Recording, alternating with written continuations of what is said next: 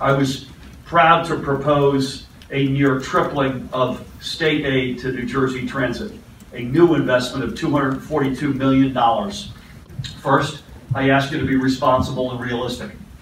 As a first matter, we're taking a fare hike in fiscal year 2019 off the table.